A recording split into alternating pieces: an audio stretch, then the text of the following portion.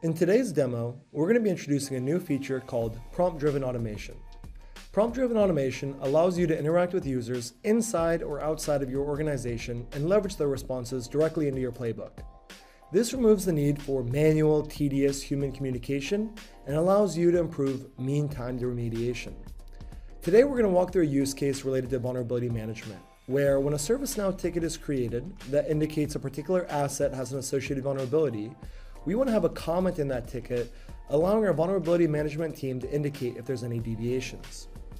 When looking into our prompt, we can see a few things. First, we see that there's a Splunk SOAR users and others option. Splunk SOAR users indicates how prompts traditionally were, while others is the new prompt-driven automation workflow. The next thing you'll notice is that we do have support for SAML authentication, allowing you to verify that the responder of your prompt is who they say they are. And by enabling this, we can further scope to specific roles within our SAML group. Next, we're going to look at how we add a comment to the ServiceNow ticket. With our distribution actions, we're able to add the ServiceNow comment, reference the ticket ID, and include a note indicating what the prompt is for. Here we're saying answer the prompt below to indicate the deviation and the associated justification for that deviation. We're also including a note that the user has 24 hours to respond to the prompt. When going to our questions, we have our introduction mes message indicating the deviation and associated justification is requested.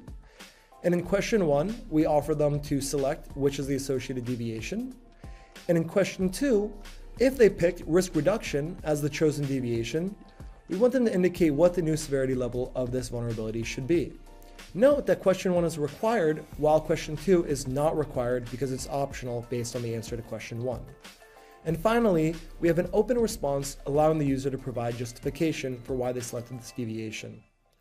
And next, we're able to indicate the time to live for this prompt. So since we've given them 24 hours, we've indicated that 1,440 minutes should be the time to live for this prompt.